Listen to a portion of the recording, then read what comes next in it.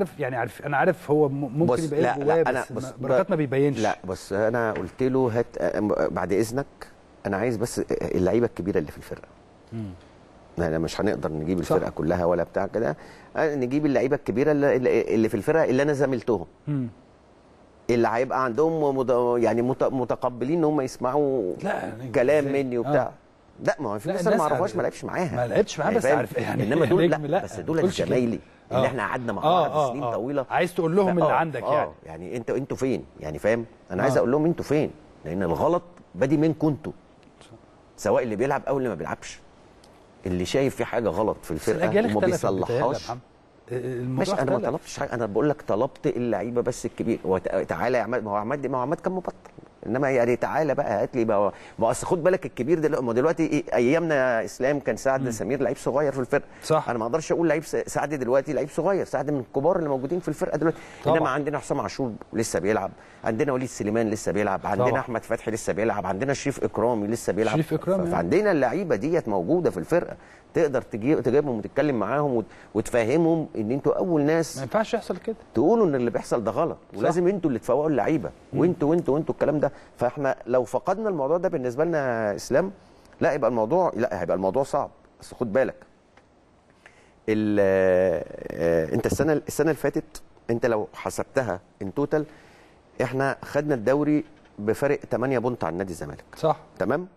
8 point كان في 5 point ولعبت الماتش الأخراني كسبت- كنت انت ضامن الدوري فانت كسبته فبقى 8 point. فاللي هيسمع كلمة 8 point 8 point هيقول آه. رقم يعني رقم 8 point فرق. إنما لا أنت طول طول السنة لا أنت طول عندك السنة مشاكل. عندك مشاكل. يعني هي ابتدت تتحل إمتى وأنت قلتها المرة اللي فاتت؟ من شهر يناير. بالظبط. آه. أنت فقدت بنات كتير قوي. ابتديت تجمع ابنات ابتديت تمسك في نفسك. والناحية الثانية كان الزمالك كان كان بيقع. وكان نادي الزمالك ابتدى يفقد بنات وهو اللي ساعدك. يعني أنا بكل أمانة النادي أنا ما بتكلم لا النادي نادي خليني معلش يا النقطه دي عايز مش عايز أشوف الكلام ده السنة الجاية. آه، حلو بعد.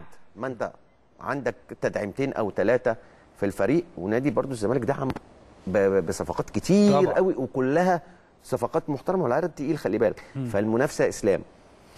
لو أنا ما اهتمتش من البداية وزي ما قلت لك أول حاجة باحترام المنافس اللي بتنافسه وفي نفس الوقت أنت الروح اللي دايما بنتكلم فيها اللي بنقول إن مفتقدينها في النادي الأهلي بقالنا فترة. إن أنا نازل بلعب كل ماتش. لا أنا عايز أرجع لجمهوري وأنا بلعب نازل الماتش. الناس قاعدة بتتفرج على النادي بتاعها وهي عارفة إن الجون مسألة وقت. بس عارف اللي هيفرق إيه؟ هيجي. عارف اللي هيفرق إيه. عودة الجمهور. لما هتفرق الجمهور- مع طب يا إسلام الجمهور ما جاش. ما مشكلة بقى. يعني أنت أنا معاك جدا إن الجمهور هيفرق جدا. ما قلت آه. لك أكتر. فرقتين متضررين أهلي وزمالك. هيفرق. طبعا. ولكن طب حصل إيه الجمهور؟ ما جاش. ما مشكلة.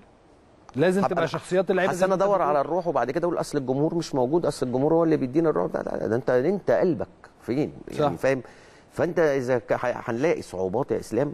لو مش من أول الموسم بدأنا بداية كويسة لا هنلاقي هنلاقي صعوبات السنة الجاية. هي دي هي دي القصة كلنا إحنا آه. لو ما بدأناش كويس اصل الموضوع بسيط. أنا قلت لك مش مختلف يعني- فنيا.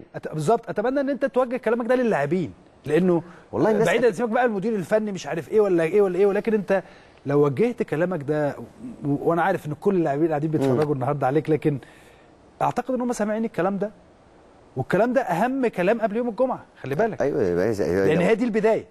ده أنا عايز أقول اللعي- اللعيبة بس هي أهم حاجة اللعيبة الكبيرة تسمع الكلام دوت وبتاع. آه. بس أنا خايف يسخنوا بعد الكلام اللي أنا بقوله ده. يسخنوا يقوموا مدورين الضربه في اللعيبه الصغيرة. ولا فيك أنت؟ لا لا لا لا بقول لك إحنا عندنا خامات ممتازة. طبعا. وطبعا يعني إحنا بال يعني بالمناسبة يعني عايز أتكلم آه، يعني بهني قفشة ومحمود متولي على قدومهم النادي الأهلي وحاسس إن هم هيبقوا إضافات. طبعا برضو الراجل اللي هو ديانج ده بتاع مالي يعني هو هيبقى موجود وهيبقى عليه مجهود كبير عشان يثبت نفسه ان هو يلعب في الحتة ديت خصوصا إن الفترة ديت كان بيلعب السولية وكان حمدي فتحي ويمكن الاثنين ماشيين بطريقة كويسة فبرضه هيبقى عايز يجاهد علشان ياخد مكانه في الفرقة. لو كل واحد حس إن هو مكانه مش موجود وهيجتهد علشان يلاقي مكان ليه في الفرقة في وسط ال 11 لعيب هتلاقي الموضوع مختلف هتلاقي الدنيا ماشية كويس قوي كده ما هيبقى فيه منافسة في كل حاجة. منافسة بدايه من راس الحربه إن وليد أزارو هيبقى عارف إن هو مش هو اللي هيلعب على طول وفي مروان محسن ولازم مروان يشد على نفسه شوية وأزارو يرجع أزارو زي الأول وصلاح قعد فترة كبيرة مصاب وابتدى يرجع ده لازم يبتدي يحط في دماغه عشان ألعب لازم أجيب أجوان وده هيغير منه وده هيعمل قيس على كده كل هي دي هي دي الأماكن. الكورة. يعني هي إحنا كنا عايشين كده. هي دي الكورة. ليه؟ لأن إحنا اسلام في حاجات يعني آه، معلش أنا بكلمك حاجات لا لا يعني لا طبعا كتير طبعا كده. طبعا. بس إيه دي الحاجات اللي أنا إيه أنا ما بطلعش كتير الحاجات اللي الواحد عايز إيه تقول كل حاجة. آه يعني مثلا أنا واحد من الناس أنا يعني ياسر إبراهيم مثلا ما كان موجود في سموحة.